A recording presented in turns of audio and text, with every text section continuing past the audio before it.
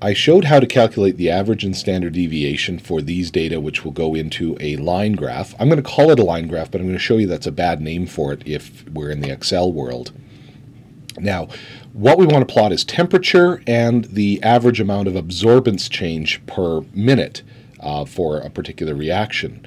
So because we only want to deal with these process data, the temperature we recorded on, which is absolute, and the average, which is the part of the raw data that we processed from these parts, let's hide these. I'm going to left click and paint all of the columns B through E, which have the raw data. I'm going to right click or two finger click if you're using the control uh, pad and then I'm going to hide them. Don't delete them, hide them. They're still there. We go from A to F, but we've got these two data uh, series side by side. So I'm going to highlight the data I want to plot. We'll get to the standard deviation in a little bit. So from here, I want to insert, and remember we call um, these figures or uh, charts when we're in Excel, and it gives us a choice. And uh, there is a line graph that you can do. But it turns out these don't work very well because the numbers aren't continuous uh, in their spacing. So we don't have a 10 unit space here and another 10 unit space. We have 0 to 10 and 10 to 25, which is 15, and it gets worse as we move down. So we want to plot so that these are spaced properly, and that is done with a scatter plot, just like this. Choose one with lines, left click, and we get a graph that's a bit shocking. It's not what we're looking for. Uh, but the reason is because we want to swap the axes on here. And we go through the toolbox to do this. And if you take a look here for chart data, we can sort by you know rows or we can sort by columns and that's how we want to do it. If you click on columns this makes sense. We've got temperature down here so we've got 100 degrees plotted at the far right 80 degrees over here and a big space between that and the 50 degrees which is beside it Let's get rid of series 5. It doesn't mean anything for us. And let's process this graph a little bit by adding proper titles. So let's do, uh, we've got a horizontal axis ready to go, so we're going to call that temperature Celsius.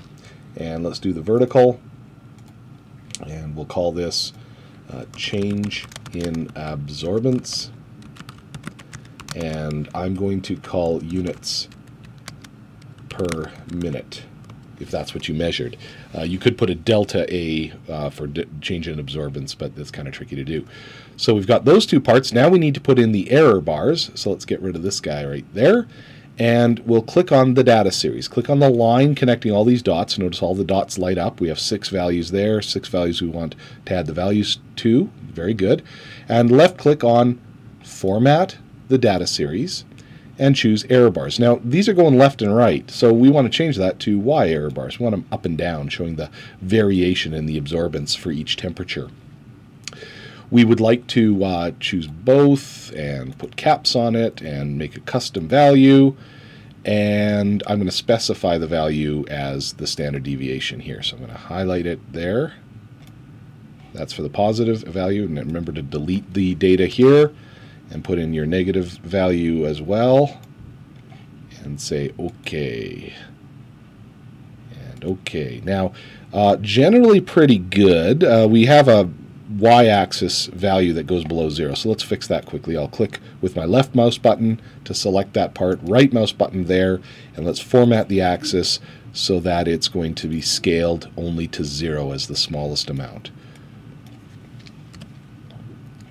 And say OK and that looks a little cleaner and nicer.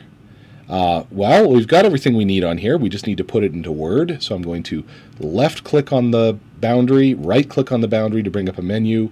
I'm going to copy it and get this out of the way. Let's open up our document that we want it to go in and we look for where we start referring to the graph. Um, figure 1 shown right here. So let's put the graph right after that. So I've just added a, I clicked on there, hit enter to open some space, right click to bring up a menu, and paste it. There we go. What we're missing is the caption. And so it should be labeled figure 1, figure 2, figure 3, whatever it is. So just left, uh, pardon me, right click anywhere on the background and insert caption. It'll automatically come up with a figure. Make sure it's the right figure number. And this is the first one in this document. So I'll put in a colon and I'll write a proper caption. Um, caption, okay, uh, graph of enzyme activity under a variety of temperature conditions. And you might want to say what enzyme it is as a real quick, um, it's hard to think and type and make a tutorial at the same time.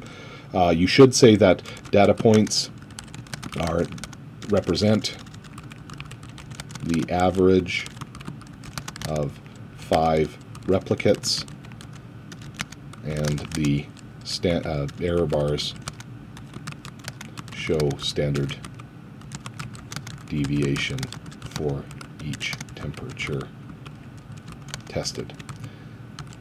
And we'll hit OK.